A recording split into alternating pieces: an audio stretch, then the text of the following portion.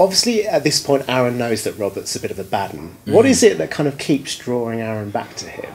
Um, but I don't know. I guess it, I guess it's, it's that the fact that you know he is that um, that that bad boy character. I suppose you know that you kind of have them uh, in the in the show. You know, often you know you have somebody at home farm who who happens to have a dark side to him, and I think it always makes for a great contrast in the drama. You know, especially with Emmerdale and you know Street kind of soaps constantly moving on.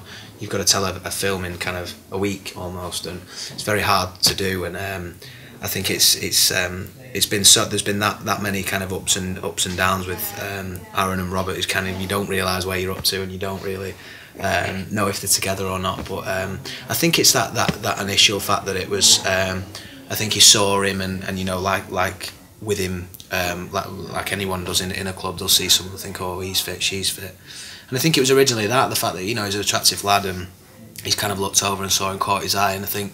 Robert kind of knew that, and he, I think he, he almost wanted to come in on the back of this as being a kind of a, um, like a bit of a mess around, you know, sort of play with someone's mind or have something on the back burner to have as a blackmailing kind of uh, instrument or a, a bribery or, or whatever. And that's the kind of person we've seen that Robert is. And I think it's the fact that Aaron's kind of he's so far out of his own depth that he feels comfortable, if that makes sense. You know, this is a whole new world for him. He's used to dingles, you know, getting by and earning a nine to five living and having the weekends off. But all of a sudden, you know, Robert's come into his life, and all of a sudden he's very um, he's very much wanting to get into Robert's life and Robert's world, and you know, So when you when you sort of originally came back to the show last year, was yeah, it the year before? yeah, no, last year, Last year. 2014, yeah. Yes. Um, were you sort of keen to know who the writers might be pairing you with, and was it a surprise that it was going to be the married man? Um, I mean, for me, like we were always so um, the Dingles in particular so kind of uh, big on not being home wreckers, and I think when he looks upon um, the past that Chas has, has had with with Carl and with Aaron's dad Gordon and all this kind of um, past history of how it's determined Chas and Aaron's relationship in a way. You know, a lot of this backlog of story has determined how they are with each other now, and although the relationship is still better, a lot better.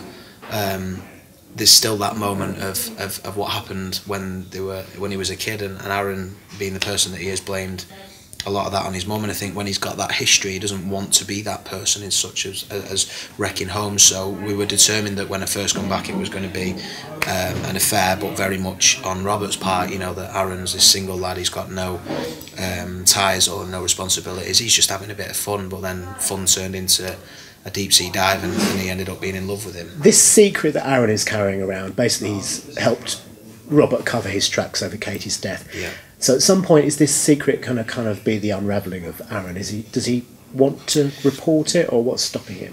Yeah, um, again, I think originally, if Aaron had his way, he's a very truthful and honest person, um, and that's where the self um, uh, self harming comes from. The inner angst that Aaron has within him of not being able to tell the truth, because if he had his way, he would tell the truth. But with this particular one, and, and, and certainly with all the secrets he's kept, they've never been as straightforward as just offloading. You know, they will come with a Jenga full of people getting hurt and a, a full amount of people saying you know, like Chas would be obviously the main one in Aaron's eyes because of Katie being um, a best friend.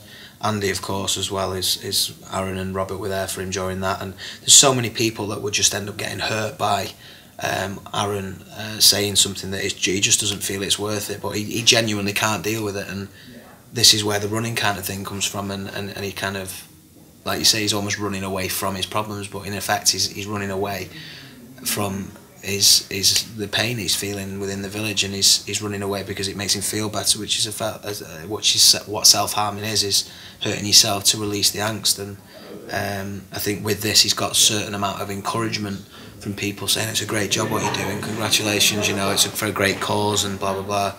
Uh, and all this time he's kind of yeah whatever you know because it's because he's going that's not the reason I'm doing it. I'm, Katie's gone and you know all the money in the world ain't going to bring her back, but me running and hurting myself, punishing myself is a reason to, to help that, you know. So it's quite sad and daunting when you think about it, but it's also true true to life. Unfortunately, there are people out there that feel this way. So.